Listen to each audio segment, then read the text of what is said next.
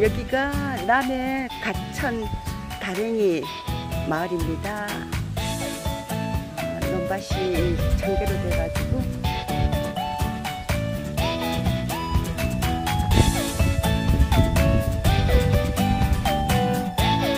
여기 다랭이 마을에 역사가 있네요. 그래서 내려가면 박원순 카페도 있다 하니까 한번 가봐야지.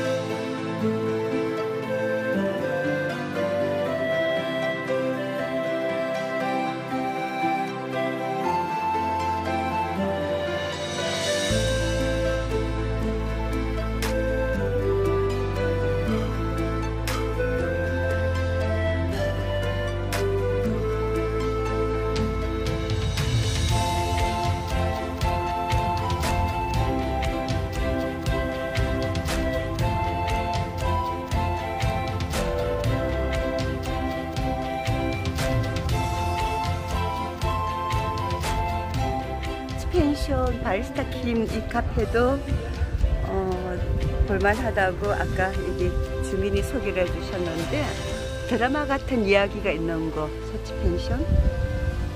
바리스타와 뭐 손님만 들어오세요. 위에서 걸어서 구경하면서 내려오면서 여기 거의 바다 바다 아래쪽까지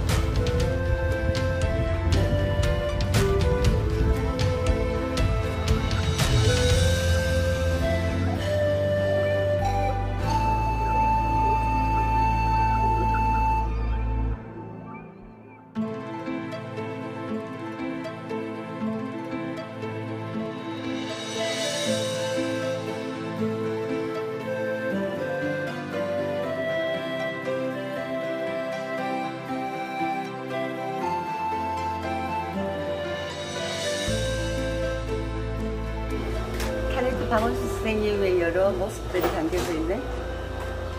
동료들과 찍은 사진도 있고. 어, 여기는 2호점이래요. 1호점은 독일 마을 그 원예촌에 있고 2호점은 다랭이 마을. 곳곳에 박원순 탤런트의 모습이 있어요. 자, 여기를 문을 열고 나가면은 오, 아, 이런 분위기 좋습니다. 와, 이 나무를 보니까 수령이 엄청 오래된 것 같아요.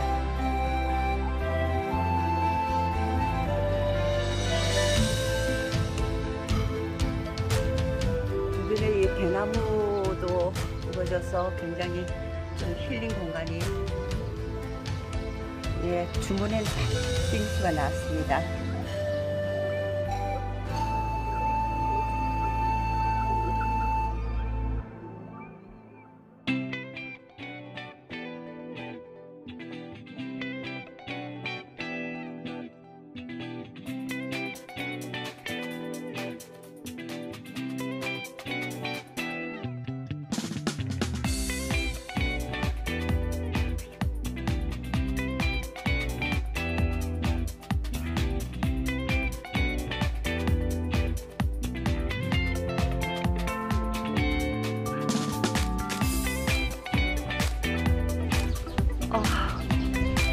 경남 하동에 왔습니다. 어, 대하소설 토지로 유명한 박경리 선수가 어, 문학관도 찾으면서 그 토지 소설 속에 나오는 책 참판 때 유명한 책 참판 때또 둘러보고 가려고 왔습니다. 몇 호수로 올라가야 되는데 어, 곳곳에 이 주변에 뭐 상가들이 많이 있네요. 저도 여기는 처음인데 어, 유품 전시관도 있고 또 토지 촬영했던 세통상도 있다고 하네요.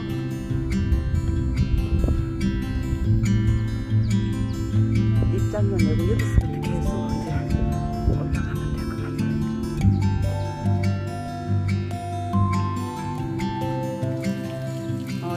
드라마에 나오는 용인의 칠순이의 집인데 일단 오늘 메인 주제가 박경리 문화관이고 어, 청풍대기 또 올라가야 되니까 좀 더 올라갑시다.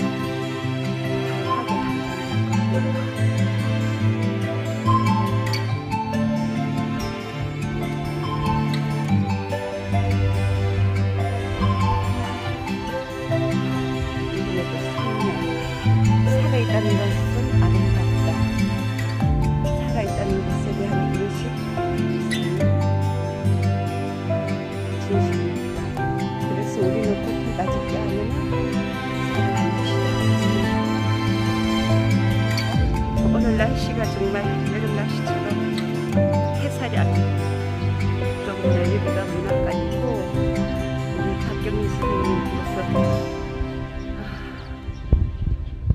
안녕하세요.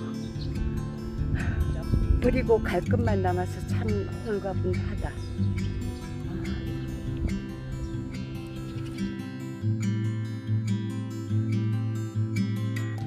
이제 문학관으로 갑니다. 들어가기 전에 2016년에 건립됐고 1969년에 집필을 하여 1994년에 탈거한 지대한 소설토지 장장 25년 걸리네요. 장작 시간이 걸쳐 완성이 되지만 원고지만 약 3만 2천 200여 장.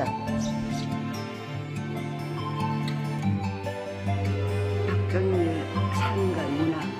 난 특별히 문학을 내 인생과 갈라놓지 않았습니다. 내 인생이 문학이고 지금 문학이 내 인생입니다.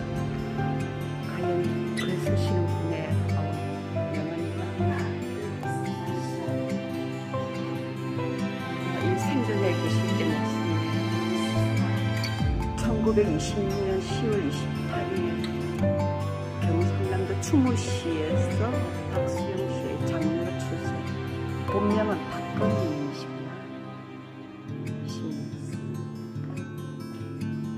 진주고등학교 졸업하셨고 토지를 43세 때 일부를 연재를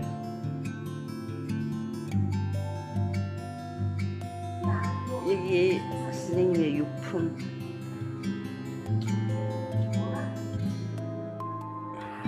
박경희 선생님도 커피를 좋아하시나 보네. 원도 가는 것도 있고. 아저 녹음기.